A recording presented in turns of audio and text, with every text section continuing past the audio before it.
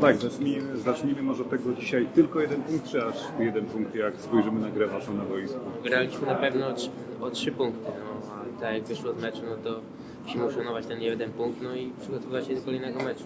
Co się stało, że wasza gra zgasła i mówiąc e, krótko zabrakło troszeczkę pomysłu na tego przeciwnika dzisiaj?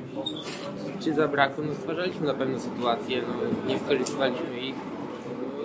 Brakowało może trochę skuteczności, z tego to tak można wnioskować.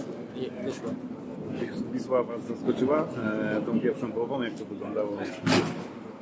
No, byliśmy przygotowani, wiedzieliśmy jak Wisła gra, też dobrze grają w piłkę, ale z klarownej sytuacji jak nie stwarzali sobie, bramkę strzeli po tym samym fragmencie, no to, to można powiedzieć nas zaskoczyło.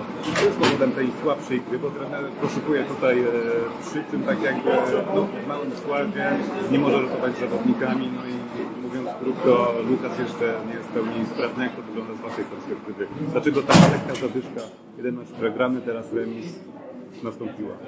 Zadyszkę, no zdarzają się słabsze mecze, słabszy okres, no musimy wrócić na, na lepsze tory, a będziemy do tego dążyć cały czas.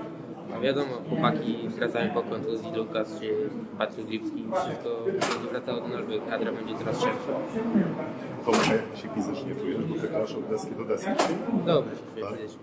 I tylko trener nam właśnie mówił, że na przerwę na kadrę będzie chciał niektórych chłopaków zregenerować, a ty nie będziesz miał takiej okazji, wyjedziesz na kadrę, dwa mecze dostaniesz w nogach. No czy będą, to zobaczymy, czy będę grał, czy nie. A powiedz mi, te ci rywale, no to są fajnie, tak? Japonia trochę egzotyki, tak? Niemcy, to wiadomo. Wiadomo, na pewno są to dwa dobre zespoły. Z Niemcami kiedy graliśmy w eliminacji do Mistrzostw Europy U19. Przegraliśmy sobie 2-0, na pewno jest to dobry zespół.